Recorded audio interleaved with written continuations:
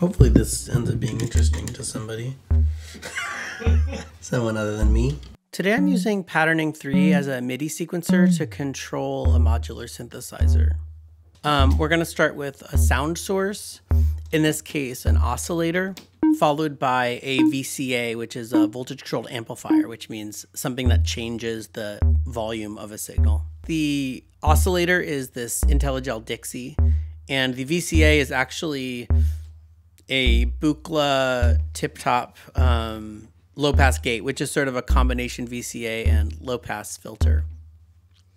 So the sounds is the oscillator going through this this low pass gate, um, and then the low pass gate is opened and closed using a envelope.